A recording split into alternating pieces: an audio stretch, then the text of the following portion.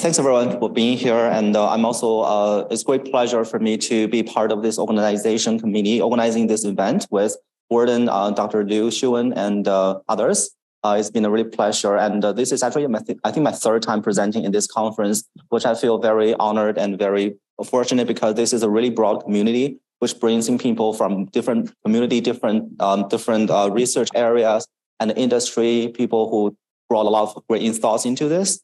And uh, I also appreciate Dr. Peter Stone mentioning about the actually the, the, the definition of artificial intelligence is actually much broader than what we're currently are looking at. Um, many years ago in 2012, we actually worked on research studies focused on how to better represent medical knowledge in large scale medical ontologies and terminologies. And we were able to publish papers in journals like Artificial Intelligence Medicine. And this year, when I taught the course of health informatics, in our school, and my student asked me like, why can you publish that kind of paper in this journal about on artificial intelligence?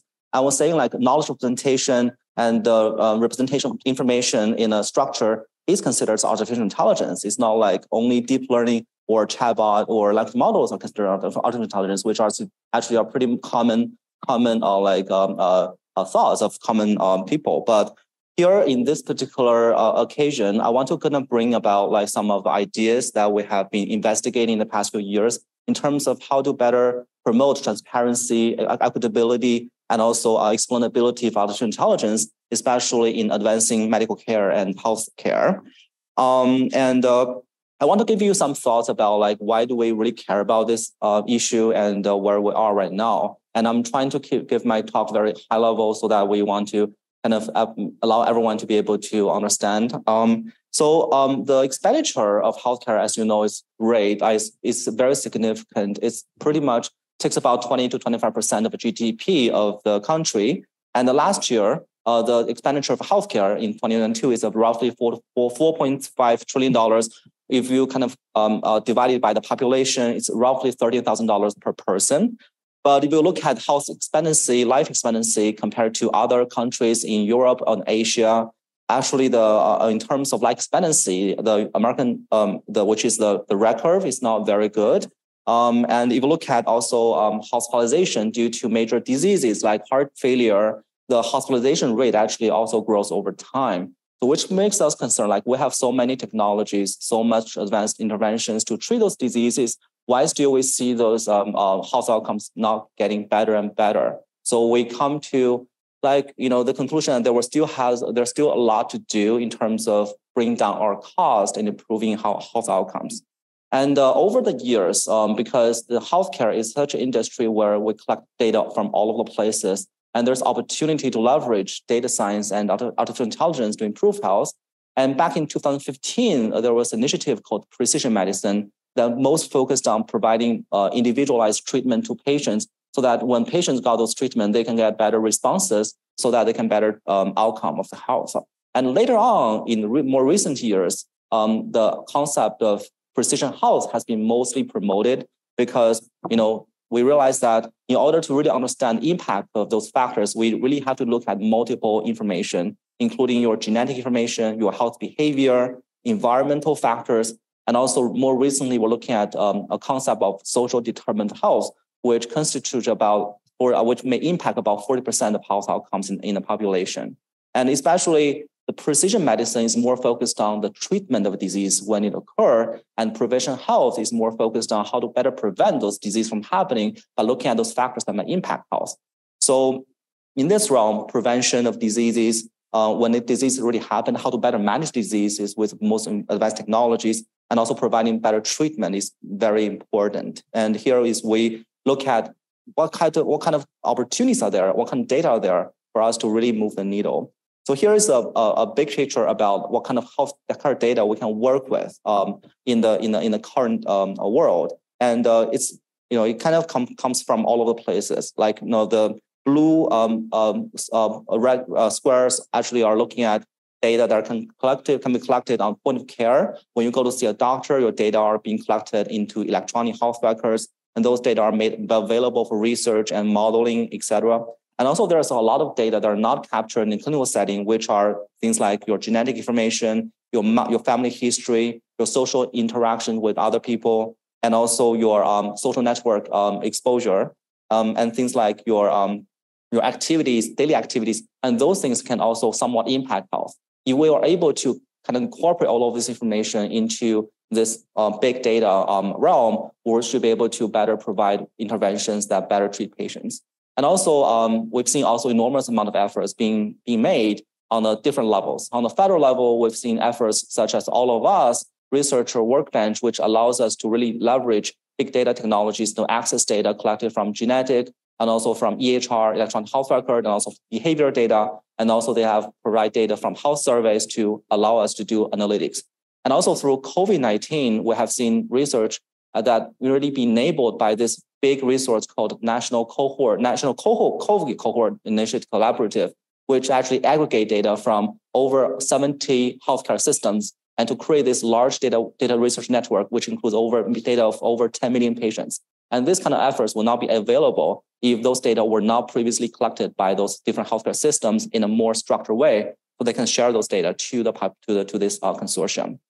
And uh, we're talking about AI-enabled precision health, um, which essentially means that we can capture those information collected from uh, from clinical from clinical care setting and also from home setting, from your um, social networks, to be able to provide more deep phenotyping to understand what is actually the molecular structure of your disease so that we can better understand what is the cause of the conditions and then how to better treat them. And then we were able to leverage deep learning and also other type of machine learning technologies to better incorporate those information, encode this information into um, into a into a feature vector, and then using those technologies to predict outcome for patients. So some of the outcomes that are very concerning for uh, healthcare systems, including for example, 30-day readmission is one of the quality measure that helps you know, kind of uh, hospital healthcare systems to better understand how the care are being provided, and they want to reduce hospitalization as much as possible and readmission as much as, much as possible. So it's possible to leverage those uh, machine learning and deep learning technologies to uh, predict those so that when you actually are looking at those patients at first uh, admission, you are able to understand their risk for being readmitted to hospitals in the future so that it can provide more tailored treatment and prevent those things from happening. So the application of data science is enormous, uh, like health outcome prediction, as I mentioned, predicting outcomes, including mortality, uh, including uh, readmissions, including like you know health uh, condition occurrences in the future. Those are all some of the major health outcomes predictions that are being tackled. And also people are very concerned about drug interactions. When you are using particular medication already, and if a doctor prescribe you with another medication, which could potentially interact with the existing medications, with uh, which causes adverse events, that is not going to be um, a, a, good thing, right? So they want to prevent that from happening during the point care through the clinical decision support systems. And also, as you know, clinical trials are very much important um, gold standard evidence for providing medical evidence to treatment. So, but you know, typically you can only recruit like 100,000 patients into a trial, which might not be very diverse. So you want, want to leverage um, data science and deep learning to be able to understand the heterogeneity of the population so that you can recruit those patients from different diverse background and you can test their efficacy as well as safety so that you can reduce the likelihood of having serious adverse events in the population when the drug has been approved by FDA and used by the, by the population. So those kind of things are all very much needed and very important critical health applications that can be enabled by, um, by precision medicine, data science, and machine learning. But here in this particular presentation, I want to more emphasize in the idea of explainable AI. Um, why this is a really important topic that we're concerned about is because even though we can we can actually kind of generate or model um, those diseases, health outcomes using deep learning, using ensemble learning, whatever technology you can think of, if you cannot provide a sufficient level of explanation and to your end users, which are clinicians or doctors who are really treating patients, you're not going to be able to let them really buy in your system, be buy in your decision support because they cannot confidently trust the system to provide um, their decision making um, decisions. So this figure actually uh, give you give us some sort of idea about general idea about explainable AI when you incorporate things like medical evidence and guidelines and as, as well as medical information collected from point of care, you'll be able to incorporate those information into some kind of a model, whatever model it is, to generate some prediction risk model to predict, for example, your risk of a readmission. Let's say if your risk is 75%, and then what does that matter, right? Well, how come this particular model can come up with this, with this decision? So the doctor or nurses will be able to want to really learn what's the risk factors that are being there? Because traditionally, they're getting used to things like logistic regression, which can produce like coefficient that produce that ranking of features. So in area of deep learning, they're still expecting you to produce such a kind of feature importance so they can make decision whether this particular um, um, decision is reliable or trustworthy. So, and also from our experiences, like from a machine learning expert experiences, typically we want to make sure that the model is interpretable on a global scale, which means that we want to be able to interpret our model and so to say that this model is reliable across the board.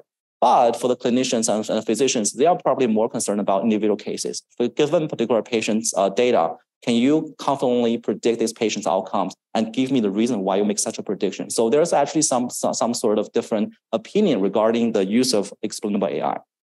So if you look at this kind of concept map between different um, um, like concepts in this realm, uh, we're talking about explainability, which actually means that the task model that's supposed to perform some sort of uh, prediction can be either intrinsically interpreted, uh, interpretable, or can be explained or um, by some post hoc methods that can be um, faithful and can uh, adequately and accurately represent the nature of the model to predict such outcome. And also under explainability, there is a notion of interpretability and fidelity. So interpretability actually means whether the explainable results are actually interpretable by the end users, whether they can be understood by the human who doesn't know anything about deep learning or machine learning, whatever models. And uh, that's comprehensibility. And then the fidelity, as I mentioned, was how your model, how your post hoc uh, explanation can adequately, accurately describing the task model. So those are all some of the factors that determine whether the method or the model you, you generate is explainable or not. And then if we look at specific um, um, specific examples or different categorization of uh, explainable AI methods, uh, back in 2020, we actually conducted the first study in the area of medicine, um, published this paper in Journal of American uh, Medical Informatics Association uh, called Explainable Artificial Intelligence Model using real-world electronic health record data and this paper, uh, when when this paper actually was was was published and work, I was um, you know kind of actually uh, challenging my student. Why do we call it explainable AI? And we actually talk about you know why whether we should call it explainable AI or, or we should call it like a trustworthy AI. There's even some argument about terminology use at that moment. But we were able to conduct this study and we actually look at over 6,000 papers after a systematic search and scope them down through a systematic approach to 40 some papers and look at their different um, methodology approach and then categorize them using um, uh, this approach. We're, we're concerned about um, whether those methods can be actually used in, in real clinical setting as well at that time. So in terms of um, explainable model, um, we can categorize them into intrinsically interpretable models. If you're familiar with logistic regression, you know that they can generate coefficients for features. So we can rank the uh, coefficients to figure out which features are more important when make predictions. And things like decision tree can also be considered as intrinsically interpretable models because you can translate that kind of model into a very easy, easy understandable uh, rules for human to understand what is the um, reason why such a decision made. And then there's getting more and more like the post hoc explanation getting more important because the popularity of deep learning models, which are very hard to be intrinsically interpretable. So things like Shapley values, which is based on uh, game-based theory. Game theory can provide some sort of a, a black box based um, uh, prediction uh, uh, um, explanation of the models and show you either whether particular um, uh, interpret inter, what particular instance can be predicted and what are the causes, and then also the global scale if you aggregate the results. Um, so here are some examples of global interpretation. Like given a particular feature space, an explainer will be able to generate decision tree explaining how the decision made.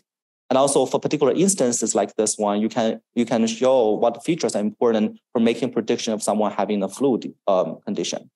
But there's also some argument in in in the area in terms of the balance between accuracy and interpretability. And we were arguing whether all the models should be interpretable and whether, especially in the healthcare setting, do we have to make sure that we favor interpretability over accuracy? And the researchers have argued that if the if the if the application is low stake, which means that it doesn't do any harm, even though some results may not be adequately trustworthy.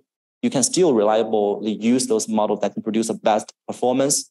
But for some high stake applications, like you know, making decisions for people's particular mm, could cause harm or even you know lead to serious outcomes, those applications you should try to make sure that the models are interpretable. So there's some papers published in both community, medical community, as well as informatics communities on that front. So in our lab, we have been doing a lot of research and work in this area. So back in 2022, uh, my students who are right now a, postdoc at Stanford, she developed this um, um, like longitudinal interpretation uh, framework where we use Shapley values to try to interpret uh, the 24-hour prediction for mortality. So we use ICU data, only using data for the 24 hours to predict whether the patients were likely to die within seven days of ICU admission. And then we can separate data into six hour time chunk into um, uh, this feature space. And then we use recurrent neural network with GRU unit. And then we are using Shapley value to interpret it. So we were able to demonstrate that over time, some lab values um, importance will degrade and some other lab values will increase over time in terms of importance making prediction for this outcome. And on a local scale, we can also demonstrate that some of the interpretation makes sense. Like this one shows the prediction um, interpretation for a, part, for a person who died in seven days and why the model makes such a prediction based on patient's uh, uh, clinical variables. So even though this is small, I can show, I can say like, we've seen like, you know, things like hemoglobin value getting worse and also things like creatinine value getting worse over time to demonstrate that this result is safely and reliable to trust this model to making such a prediction. And also, um, this is a result generated by SHAP value, uh, which give you also the um, prediction probability over time. So you can actually observe how likely the model can predict such a case to, to be like that. And there are a lot of challenges in health data science as well in terms of using leverage real world data. Like the data might be potentially biased by its own because the data are collected in a healthcare setting will only pertain to those people who can afford healthcare and who have healthcare insurance. And also the coding information can also be problematic. Over time, may, you may code medical conditions in different ways. So that could potentially influence the model performance over time. And there's also a lot of information that is not missing, that is missing in the clinical structure data, which are embedded in clinical narratives, which warrants the use of natural processing and text mining approach to extract those information. So this paper was published in 2022 later, which leveraged large amount of EHR data to identify different subtypes of, of COVID-19 um, uh, among the population. They use both the data from New York State City and also Florida uh, to look at what kind of conditions are co-occurring uh, a lot for particular subtypes of, of COVID-19 uh, patients.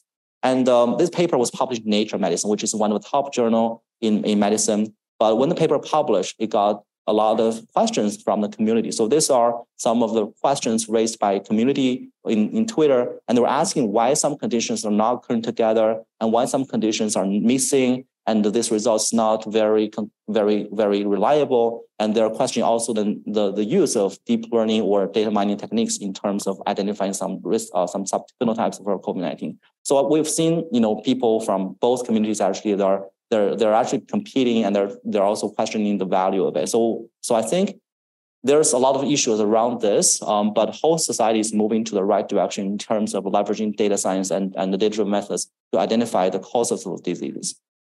And this paper was published also in 2022. And the researchers used a national uh, uh, transplantation registry work uh, database called UNOS, look at how can you predict patients' outcome in uh, one year for mortality after you receive any transplantation. And then look at um, 30 day, uh, they look at 90 day transplantation outcome for mortality and also one year mortality. So what they what this paper is really interesting is that typically when you do machine learning, you know, like we do cross validation where you take random sample for training, random sample for testing. But this one, they try to look at whether you, if you take a random sample for training on different time frame, whether that results could influence the prediction accuracy, which actually is a case. They call it rolling cross validation, where they kind of roll this um, training data over time from 1994 to 2016, and they found that the AURC actually varies over time. And also they see some variables are actually quite diverse over time, indicating that there is actually a very different, um, there, there's a temporal shift in terms of Medicaid uh, prediction for this particular task. So you have to be careful. And also we're lucky to see that uh, on AI community, there are a lot of AI principles being developed and also being proposed to ensure that what we produce and what we report are going to follow those principles in terms of transparency, justice, fairness, equity, and to make sure that we don't do harm. This is especially important for the medical, medical community because we want to always improve outcomes instead of reduce outcomes. Um, and also we've seen, um, you know, either uh, professional organizations or, or publishers, they're actually reinforcing some medical AI requirements. When you report those papers, you have to report those different aspects, especially on patient population, demographic, architectural models, and providing some more rigorous model evaluation, both internal validation using the data set you use for training the model, as well as external validation using data that's not used to train the model. So those are all some of the good efforts that we've seen over the time. And now we're actually looking at how researchers are following those guidelines because guidelines are not really reinforced in a way that uh, really decide the fact, the, the, the you know, the, the, the results of, of, of publication. And also we've seen some gaps there in terms of how good you are incorporating medical knowledge into those developing uh, in these guidelines. Because in medical uh, science, it is really important that you incorporate medical experts' opinion when you develop the model. For example, what features did you select as risk factors for when you when you build those AI models, right? You know, if you lose or miss some particular important risk factors, the results may not be adequately understandable or, or even valid. So those are not adequately captured. And uh, from the data collection perspective, there are national initiatives like Digital AI and AI Ahead, which actually look at how we can collect data in a fair, equitable, and, uh, and transparent way at the point of data collection. Because oftentimes we've seen data used um, uh, using retrospective data, they're not actually collecting in a way that is equitable and some population are not well represented. So that is really being tackled by these national initiatives. And also we've seen a tremendous amount of work in generative AI in healthcare as well. So as you see in this picture was, was, was published in Google blog, um, it shows that with the explosion number of parameters, you actually can generalize those models to apply into different domains. And also we've seen general AI models in medical care, which is very encouraging as well. And this paper published in 2022, later 2022, they're trying to um, kind of reach, uh, kind of refine this model of um, PaLM, which is Google model using medical AI, medical QA question answering data set, and using different prompt strategies to make sure that they can answer some questions in medical, uh, in, in healthcare uh, more confidently and, and adequately. And this is also the first model that can pass the medical licensing exam, which, have, which have a very um, difficult questions. So for example, in this question, they're asking for this patient with this particular condition and this disease and, uh, and the symptoms, what medication were used to treat this patient. And this model will not only be able to choose the correct answer, but also providing the reason and rationale behind choosing particular answer among all the options. And also this example shows that physician, when the physician answer questions, is they're not actually being more elaborative compared to those medical AI generative models. But still, like you know, whatever models generating those answers should be concerned because they're not using the data that are used for training those doctors. So the answer could be different, and we're not sure whether they're so reliable or not. So they actually this paper is 40 pages long, very extensive, and they actually did a lot of evaluation to evaluate the answers generated by those models, both using multiple choice questions and also as free text questions like this one. In terms of future direction, I think we are very much interested in developing models to promote the area of explainable AI, especially medicine, and to improve uh, transparency, trustworthiness. And my research team actually is looking at different, different ways on the technology uh, front, what type of models can be more trustworthy and can be more transparent, explainable, and also from a social technical approach, how to look at patients' responses and, uh, and the physicians' responses to those models. When they see those models, do they really trust those models or not? And also on the applied AI research front, um, we need to look at how good we can trust, uh, how, how good those generative AI models is in terms of providing patients and the providers some responses to medical questions, because we think there's opportunity to leverage those models to provide better patient education. That when patients actually see the doctor, they can be better prepared to answer meaningful questions to their to their providers. So my research lab is called eHealth Lab. We look at uh, different um, problems like artificial aging, clinical research informatics, explainable AI medicine, and also consumer health informatics. So we've been funded by NIH grant over the past few years, and we're still being funded by three or three NIH grants. Uh, so it's a well-funded research lab. And we're right now looking at postdoc research scholar positions. So if you have any question or if you have any students who are actually seeking opportunity to work in our lab to promote medical science using data, um, so please reach out. I'll be happy to um, uh, take any questions or inquiries, uh, and I'll be happy to work with amazing students. So today I'm, i have three students here, and they're presenting some of their research work as well. So these are all the students I've been working with and the faculty members I've working with over the past few years. Um, references, um, thank you.